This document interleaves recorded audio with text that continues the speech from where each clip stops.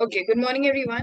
So we are here to revise the chapter Be What's What by B.S. Naipur. Now the thing is कि यहाँ पे ये जो story है ये I S C twelfth of course किसी किसी के इलेवेंथ में आ सकती है अल्टीमेटली आपकी बोर्ड में ही आएगी and you'll have to revise the whole story in a very short gist and I am assuming कि ये आपने पढ़ाई पहले से कर रखी है।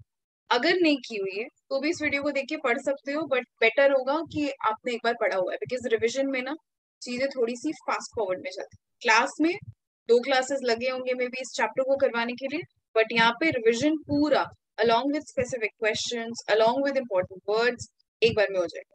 सो एल बी फास्ट तो two X one point five X पे वीडियो देखने की ज़रूरत है नहीं इवन दो आप बैकअप कर रहे हो। तो होते हैं बहुत सारे चालाक बच्चे। अरे, पढ़ा हुआ है, देखा हुआ है फास्ट फॉरवर्ड करके देख लेते हैं। बट ऑलरेडी मैं फास्ट फॉरवर्ड पे ही चल रही होंगी तो मतलब क्या ही फास्ट फॉरवर्ड करना है? तो ऑथर के बारे में अगर आप देखो ऑथर के बारे में अगर आप थोड़ा बहुत समझो तो आपको पता चलेगा कि किस तरीके से ऑथर मतलब author as a this person इनके जब आप बैकग्राउंड के बारे में समझोगे तो यूल अंडरस्टैंड कि किस तरीके से he is connected to the story now इस स्टोरी में थोड़ा सा कंफ्यूजन हो सकता है बच्चों को। क्यों होगा मैं बताती हूँ। एक बार के लिए आओ। क्यों होगा कंफ्यूजन मैं बताती हूँ। एक तो है ऑथर मतलब जिसने ये स्टोरी लिखी है, जिसने ये स्टोरी लिखी है, ठीक है? दूसरा पर्सन कौन है? इस स्टोरी के अंदर भी एक ऑथर है। इस स्टोरी के अंदर भी एक ऑथर है। इस स्टोरी के अंदर एक बच्चा है। इस स्टोरी के अंदर ऑथर का एक भाई है। इस स्टोरी के अंदर बच्चे की एक माँ है। इस स्टोरी के अंदर ऑथर की एक गर्लफ्रेंड वाइफ या कोई भी उसकी पार्टनर रह चुकी है, उसमें भी उसका एक ऑलमोस्ट पैदा हुआ हुआ बच्चा है। सस्पेंस है, अभी नहीं क्रिएट मतलब अभी नहीं एंड करूँ। तो इतने सारी, इस स्टोरी में एक पुलिस ऑफिसर भी है। There are many things in the story और यहाँ क्योंकि एक ऑथर ऑलरेडी है तो आप कंफ्यूज हो सकते हो between the real author of the story and between B Wordsworth तो आपको क्लियर रहना पड़ेगा बहुत ज़्यादा। कि ऑथर ऑफ़ द स्टोरी कौन है एंड इसके अंदर ऑथर कौन है? एक्चुअली ये ऑथर नहीं है। टू डिस्टिंग्विश ये एक्चुअली कौन है, पता है? पोएट एक्चुअली ऑथर नहीं है एक्चुअली एक राइटर एक पोएट है। यानी बी वर्ड्स वर्थ अपने इस स्टोरी में, इस स्टोरी में कौन है? एक poet actually B words worth करके एक ऑथर राइटर एक पोएट ऑलरेडी है इस दुनिया में और बहुत ही ज़्यादा फ़ेमस स्टोरीज उन्होंने लिख रखी है। ऑल इस कहानी से उनका कोई भी लेना देना नहीं है। बट फिर भी क्योंकि ये इतना फ़ेमस नाम है, क्योंकि इस स्टोरी में ऑलरेडी एक ऑथर है, क्योंकि इस कहानी में एक पोएट है, चीज़ें थोड़ी सी कंफ्यूजिंग हो सकती है। आई होप आप सबको समझ आ रहा है मैं क्या बोल रही राइट यू कैन रिलेट क्योंकि आपने पढ़ा है। अगर नहीं पढ़ोगे तो प्रॉब्लम आ जाएगी। अभी एकदम जंप करते हैं, ये तो मैंने बैकग्राउंड दिया है।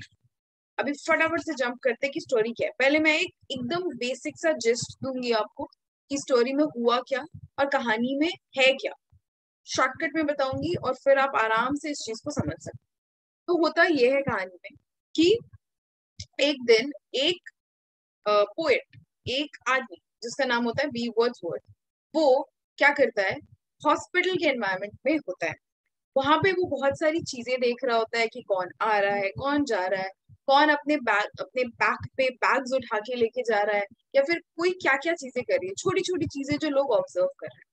वहाँ से निकल के वो एक गार्डन की तरफ़ जाता है, जो कि एक छोटा सा घर होता है और उसके आसपास फेंस्ड गार्डन होता है। जब वो उस गार्डन में पहुँचता है तो एक बच्चा उसको एनकाउंटर करता है, यानी उसको मिलता है। जब वो उस बच्चे को देखता है तो बच्चा उससे पूछता है कि तुमको क्या चाहिए? व्हाट डू यू वॉन्ट तो सामने वाला जो इंसान है who is of course the poet वो कहता है कि I want to get in your fence to watch the trees अब जब वो एंटर करता है तो बच्चा जो क्या करता है, वो दौड़ के जाता है अपनी मदर के पास और आकर के कहता है क्या? कि, mummy there someone and the person is here to watch the trees उसकी मदर आती है and she assumes him to be what उसकी मदर जब आती है what does she assumes about the poet कि क्या करने आए हाँ? बेवकूफ़ बनाने आए या तो चोर होगा या तो सेल्स पर्सन होगा। कुछ ऐसा ही होगा क्योंकि कोई घर में पेड़ देखने थोड़ी आता है। बट अल्टीमेटली होता ये है कि बच्चा उसको पेड़ की तरफ़ लेके जाता भी एंड इवेंचुअली बच्चा उससे पूछता है कि तुम्हारा रियल मकसद क्या है to come here in our garden तो वो बताता है कि I am here to sell my poetry तो यहाँ पे पहली बार एनकाउंटर करते हैं हम कि बी वर्ड्स वर्ड जो है वो एक पोयम लिख रहा है और वो उसको सेल करना चाहता है। ऐसा वो बच्चे को कह रहा है। ऐसा वो बच्चे को कह रहा है। अब जब बच्चा ये चीज़ सुनता है तो वो बोलता है कि ऐसा थोड़ी होता है। इज़ दिस ट्रू कि कोई पोएट्री लेके अपने पॉकेट में घूम रहा है? और वो एक एक प्राइस भी बताता है। ऐसा नहीं है कि वो झूठ बोल रहा था, क्योंकि वो एक प्राइस भी बताता है कि मैं इतने अमाउंट में आपको ये पर्टिकुलर पोएट्री बेचूँगा और वो बच्चा जब अपनी मम्मी को ये जाके बात बताता भी है, और वो बच्चा सच में अपनी मम्मी को ये बात जाके बताता है कि द पर्सन जो गार्डन में आया है पेड़ों को देखने के लिए, वो इवेंचुअली मम्मी एक पोएट्री बेचने आया so do you want that poetry उसकी मम्मी उसको इस तरीके से भगाती है कि उसके बाद फिर उसको जाने की हिम्मत भी नहीं हो उसके बाद days pass by and we understand कि कैसे ये पोएट जो है, ये पोएट जो है, यानी वी वर्ड्सवर्थ है, वो बच्चे के दिमाग में इन्फ्लुएंस क्रिएट करता है कि तुम भी मतलब बच्चा भी एक पोएट बन सकता है इन फ्यूचर अगर वो छोटी छोटी चीज़ों को ऑब्ज़र्व करना सीख जाए, जैसे कि वो पोएट खुद भी चीज़ों को करता है। And there was a stipulated place एक जगह थी जहाँ पे पोएट हमेशा खड़ा हो रहता था या फिर मिलता था। बच्चा उसको वापस से एक दिन एनकाउंटर किया। And these people went into talking and वो लोग एक गार्डन एक ऑर्चिड में गए ऐसे स्पेस में गए जहाँ पे बहुत सारे पेड़ थे, बहुत सारे फ्रूट्स थे। There were many things and the kid enjoyed a lot enjoyed a lot when he got back home उसको अपनी मम्मी से लेफ़्ट एंड राइट पड़ा था। Because he was late and उसके बाद उसने डिसाइड किया कि मैं घर छोड़ के चला जाऊँगा। When the kid went back वहाँ पे पोएट ने उसको देखा, उसे पूछा कि क्या प्रॉब्लम है? बताया किडनी की, मेरे साथ यही ये प्रॉब्लम्स हुई मेरे घर पे, मेरी मम्मी ने मेरे को मारा है और मेरे को अब घर नहीं जाना तो इस बात पे क्लास में मैंने पूछा भी था, कौन अपने अपने घर से भाग सकता है? तो सबने बताया था मेरे को कि हाँ एक मिनट के लिए मैंने निकला, मैं निकल गया हूँ। दस मिनट के लिए मैं निकल गया छत पे जाके सो गया बट किसी की हिम्मत नहीं हुई थी कि घर जाके घर छोड़ दे। बट बच्चे की हिम्मत हुई थी और उसने घर सच में छोड़ दिया। उसके बाद दीज पीपल वेंट याद आ रहा है कुछ? नहीं। आ रहा है। उसके बाद दीज पीपल वेंट एंड वो लोग रात को क्या देख रहे थे? तारे देख रहे they were lying on the floor, they were watching stars. And उसी के बीच में आती है पुलिस की entry police enters and torch flash करके कहते हैं कि क्या हो रहा है? क्योंकि पोएट नहीं चाहता था या वो बच्चा नहीं चाहता था कि उनका सीक्रेट प्लेस जहाँ वो जा रहे हैं, या फिर जो भी वो बात कर रहे हैं, वो पता चले सामने वाले को तो उन्होंने एक नॉर्मल सा सिंपल सा ले सा लेम सा एक्सक्यूज देके वहाँ से वो निकल तो गए। उसके बाद these people went on exploring went on places saw many things, experienced many things and enjoyed themselves a lot time pass by, धीरे धीरे चीज़ें मतलब नॉर्मल होती गई नॉर्मल होती गई नॉर्मल होती गई। फिर हम देखते हैं कहानी में एक बहुत लंबा लैप्स आता है। और उस लैप्स के बाद हम क्या देखते हैं कि जो बच्चा है, वो पोएट से मिलने जा रहा होता है उसके छोटे से घर। जब वो एंटर करता है उस छोटे से घर में और सच में, नाम का छोटा नहीं, वो सच में एक छोटा सा घर होता है, जिसमें कुछ नहीं होता है except for a bed except for a kitchen when the बच्चा went in अब थोड़ा सा बड़ा हो गया when बच्चा went in the poet's house he sees that the poet is no more a young dynamic poet who is writing a poetry but a poet who is old sick, ill, and about to die. The kid remembers कि जब वो लोग last time घूम रहे थे मंडरा रहे थे यहाँ वहाँ एक्सप्लोर कर रहे थे प्रीत आराम से जब वो लोग घूम रहे थे, मंडरा रहे थे, आसपास कहीं जा रहे थे वेन द पोएट काफ़ी टाइम पहले तो उसे याद आया था कि पोएट ने उसको एक पोएट्री दिखाई थी और बोला था कि ये दुनिया का सबसे, क्या है? दुनिया का सबसे बेस्ट आप लोग बात ही कर लो फिर। दुनिया का सबसे बेस्ट पोएट्री है। This is the masterpiece which he is writing this is the masterpiece जिसके लिए वो इतना मेहनत कर रहा है। और वो हर रोज एक लाइन लिखता था उस पोएट्री में, जिसके हिसाब से वो पोएट्री कुछ आने वाले सालों में खत्म हो जाएगी। ऐसा उसने बताया था। किसने बताया था? पोएट ने बताया था, बच्चे को बताया था, यानी बी वर्ड्स वर्ड ने बच्चे को बताया था कि ये मैं मास्टरपीस बना रहा हूँ और इस मास्टरपीस को खत्म करना है और ये आने वाले कुछ साल में खत्म हो जाएगी। मैं हर रोज एक लाइन लिखता हूँ इस पोएम में। बच्चा भी सुन के हंस रहा था कि तुम पागल हो you are a loose go get a job है ना ऐसा? क्या ऐसे थोड़ी होता है कि तुम मास्टरपीस बना रहे हो, तुम खाने के लिए सरवाइव करने के लिए क्या करते हो? तो बोलता है, मैं पोएट्रीज बेचता हूँ। बट अल्टीमेटली पोएट्रीज तो कोई खरीदता है ही तो अगेन हम प्रेजेंट में आते हैं, जहाँ पे एक बेड होता है, जहाँ पे वो सिक पर्सन लेटा हुआ होता है। And the kid went kid अभी बड़ा हो गया है the kid wents in and gets in and देखता है कि इतना, इतने कष्ट में है नाउ ही आस्क कि तुमने एक स्टोरी बताई थी मेरे को है ना? क्या वो सच्ची है? The story which you you know mention was it true what was the story the story was कि पोएट ने कहा था पोएट ने एक स्टोरी बताई थी। क्या स्टोरी थी वो? पोएट ने एक स्टोरी ये बताई थी कि देयर वेर टू पीपल एक लड़का और एक लड़की and they got into love with each other they uh, went into a relationship and they were about to become parents.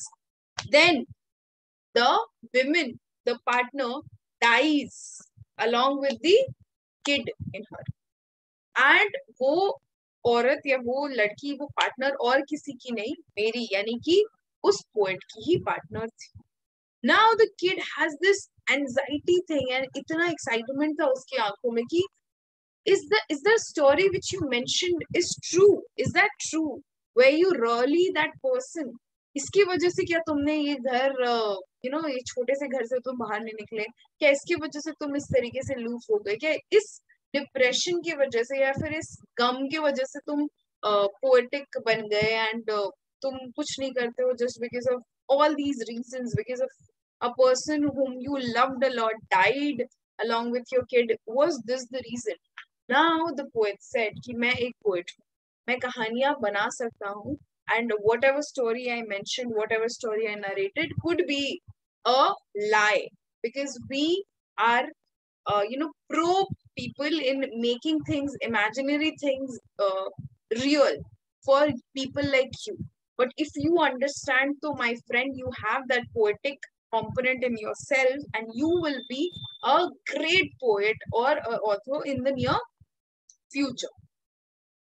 With all his eyes glittering both of them were about to cry because the poet was about to die and uski halat itni buri thi itni buri thi itni buri thi that uh, nothing went on and of, of course after some time what happened what was the end what was the end no thing after city aa gaya and after uh, a good amount a certain amount of time एक corner पे जहाँ पे वो हमेशा मिलता था poet हमेशा जहाँ पे दिखता था वहाँ पे वो नहीं दिखा और वो हट वो ऑर्चिड्स जो भी इतने लंबे लंबे पेड़ हो गए थे, घास कटी नहीं हुई थी, वो जगह भी अब नहीं रही। ऐसा लगता ही नहीं था कि वहाँ पे कोई रहता है।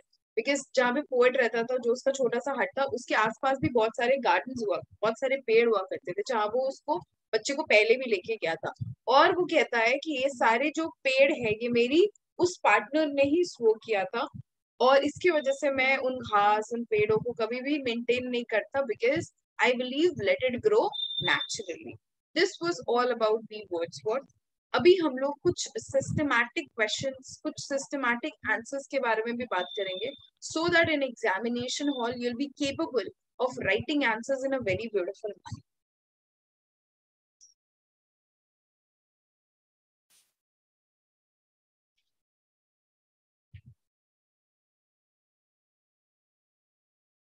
ठीक है तो देर आर फ्यू क्वेश्चन अपने उसको एक बार डिस्कस करते हैं। फ़र्स्ट क्वेश्चन क्या देखो? कि referring to be uh, to the story be words were describe what story did the poet narrate to the child. अच्छा ये बहुत इंपॉर्टेंट है। क्यों?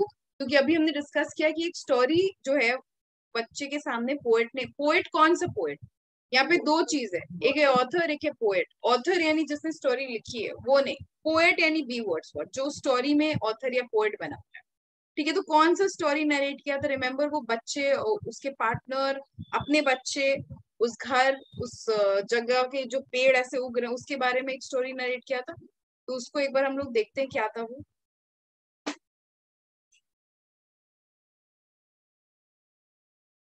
The child the child and the poet है ना? ये लोग फ्रेंड्स बन गए थे, ये हमें पता है of course and he visited the poet's house regularly to meet him वो एक जगह जाता था जहाँ पे बहुत सारे पेड़ हुआ करते थे, बहुत सारे फ्रूट्स हुआ करते थे.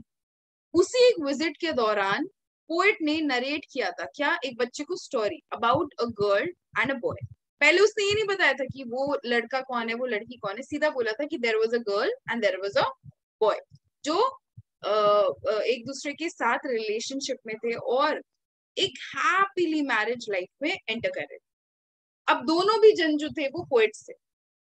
यहाँ पे देखो ये एक इंटरनल बात है क्या कि दोनों भी लोग जो थे, दोनों भी मतलब लड़का और लड़की, दोनों भी कौन थे? पोएट्स थे। अच्छा ये बहुत इंपॉर्टेंट लाइन है। This is the key word key the boy poet loved words है ना? जो था लड़का उसको वर्ड्स बहुत पसंद थे whereas the girl poet love to watch the flowers in the trees in the garden ये दो इम्पोर्टेंट एकदम इम्पोर्टेंट तो ये सब कीवर्ड्स हैं. This is how your answer should be clean clear with keywords ये इंपॉर्टेंट बात है और ये एक इंट्रेंसिक बात. है कि जो पोएट थे, जो पोएट दोनों भी, लड़का और लड़की दोनों भी लोग थे, जो एक पोएट था, जो मैंने ऑरेंज से हाईलाइट किया है, उनको वर्ड्स पसंद है और जो लड़की पोएट थी, उसको फ्लोरा फोना पसंद है फ्लावर्स एंड ट्रीज पसंद थे ठीक है? अब वो लोग कहाँ रहते थे? एक वन रूम हाउस में रहते थे। और ये वन रूम हाउस कौन सा वन रूम हाउस है? आप लोगों को पता है ये वन रूम हाउस कौन सा हाउस है जो अभी मैंने जस्ट नरेट किया था। ठीक है? लेकिन उनका लाइफ बहुत ही अमेजिंग था। बट देखो जब भी बट आता है कुछ कुछ तो होता है। क्या है बट में? But were contented with the life they were living normally एक बेडरूम के घर में थे तो लोगों को लगता होगा बहुत दिक्कत आती थी बट इवेंचुअली नहीं आती थी दिक्कत। डन क्या? लेकिन दे वर वेरी हैप्पी बाद में हुआ ये कि जो गर्ल पोएट थी, उसको पता चला कि she was about to give give birth to a child लेकिन अनफॉर्चुनेटली देखो फिर बट आया, बट आते ही कुछ ना कुछ गड़बड़ होता है। अनफॉर्चुनेटली क्या हुआ? दे कुड नेवर सेलिब्रेट क्यों नहीं सेलिब्रेट कर पाए? क्योंकि इट डाइड इन हर वुम उसी के वुम में बच्चा मर गया। और बच्ची, जो लड़की थी, वो भी मर गई। ऑफकोर्स बॉय पोएट अकेला हो गया सैड हो गया, और उसका लाइफ पूरा बदल गया। अब सब कुछ खत्म हो गया। He refuse to pay attention to girl's garden girl's garden मतलब वो जो लड़की जो अपने घर पे रहती थी। If this this is the house and उसके आसपास एक बहुत बड़ा गार्डन था तो इस जगह पे जो भी उसने नर्चर किया था, उसको अब वो पता नहीं देता था। क्यों? क्योंकि बस छोड़ दिया था उस चीज़ को। Because that reminded him about her तो वो उसको ऐसे छोड़ दिया था। तो जब भी तुम गार्डन में मेंटेनेंस नहीं करोगे, चीज़ें तो खराब हो ही जाएँगी। और ये पूरा स्टोरी वो तभी नरेट किया था जब जो बच्चा है the child the child ask कि, क्यों? Why don't you you know maintain your garden and stuff तो दिस इज़ द रीजन ये ऐसे इस तरीके से आपको आंसर भी प्रेजेंट करना है. This is how you present your answers further क्या है? सिग्निफिकेंस पूछा है. पहला पार्ट तो था कि कौन सा स्टोरी था? तो स्टोरी बता दिया और दूसरा क्या था कि सिग्निफिकेंस क्या है आंसर का? What is the significance what do mean by significance significance क्या होता है? कि इंपॉर्टेंस क्या है?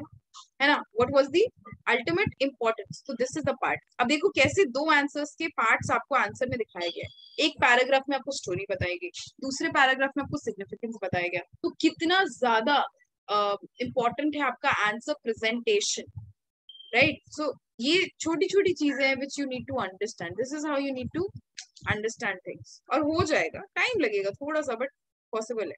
तो सिग्निफिकेंस क्या है स्टोरी का? वो सिग्निफिकेंस इंपॉर्टेंस क्या है स्टोरी कि? पोएट ने नरेट किया अपना स्टोरी बच्चे को, सबसे पहला सिग्निफिकेंस तो ये।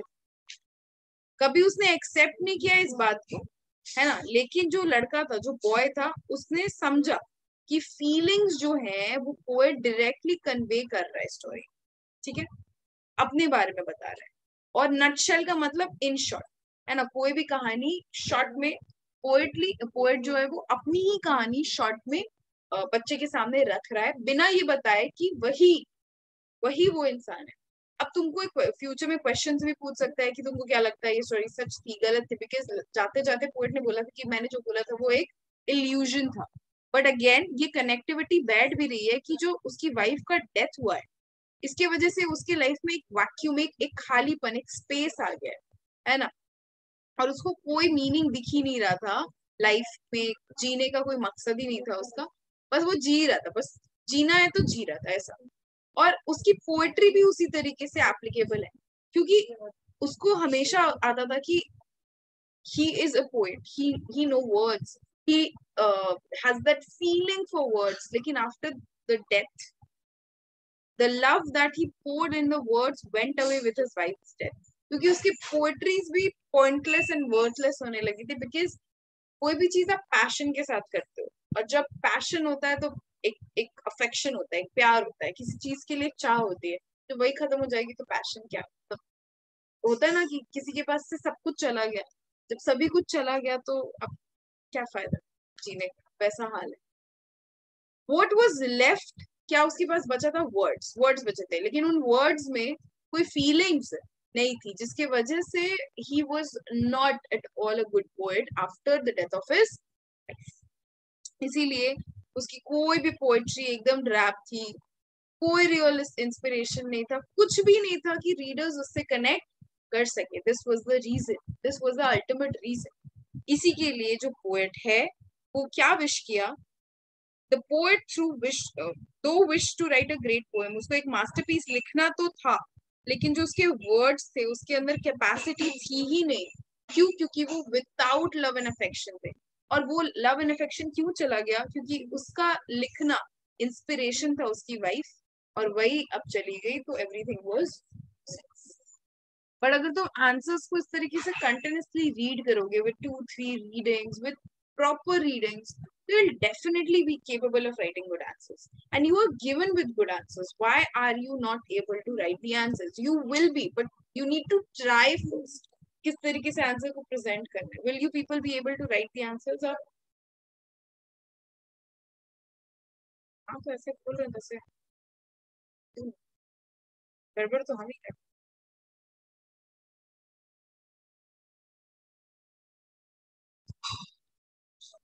पोएट का ट्रेजेडी क्या था बार बार नहीं बोलूँगी। पोएट का ट्रेजेडी आप सबको पता है। क्या था ट्रेजेडी शॉर्टकट में?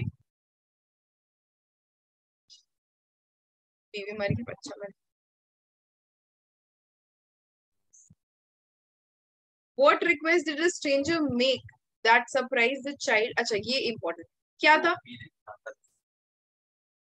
हाँ? तो स्ट्रेंजर जो था स्ट्रे, अभी तक स्ट्रेंजर वर्ड यूज़ हो रहा है क्योंकि अभी तक वो लोग फॉर्मिलियर एक दूसरे से नहीं हुए थे। उसने ऐसा क्या बोला कि मेरे को आ, कि बच्चे को बोला कि बच्चा एकदम बोले कि ये ऐसा क्या है? वो उसके गार्डन में गया था ना कुछ देखने बी देखने करेक्ट बीज देखने गया था वो। है ना?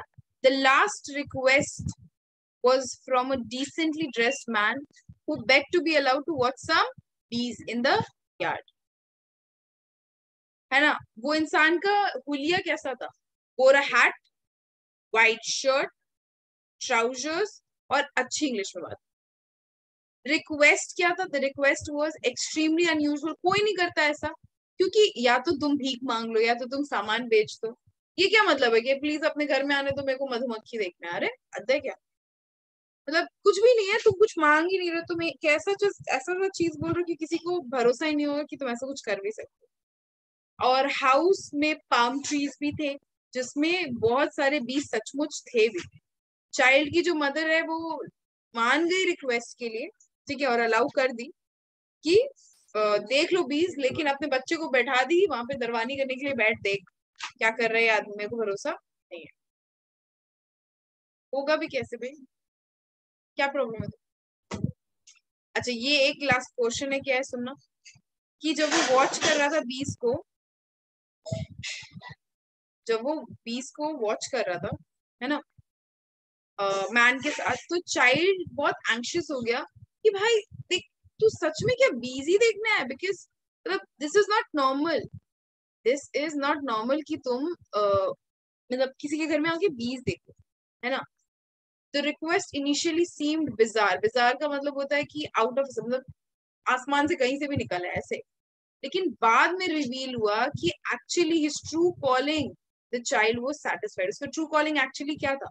वो बोला कि मैं चीज़ों को ऑब्ज़र्व करता हूँ because I am a poet तब जाके फाइनली बच्चा जो है वो सेटिस्फाई हुआ उसके आंसर से, वरना वो कंफ्यूज था कि क्या कर to be words worth what was the greatest poem of word अच्छा वो एक लिख रहा था ना पोएट्री ग्रेटेस्ट जो एक लाइन हर रोज लिखता था है ना जो उस बच्चे को बताया था कि ये देखो मैं आप कंप्लीट कर रहा हूँ अपना मास्टरपीस अच्छा वो मास्टरपीस कंप्लीट क्यों नहीं कर पा रहा क्योंकि उसके वर्ड्स में वो फीलिंग्स और इमोशंस थे ही नहीं अफेक्शन था ही नहीं लेकिन वो कुछ बताया था उस पोएट्री के बारे में right what was the exact words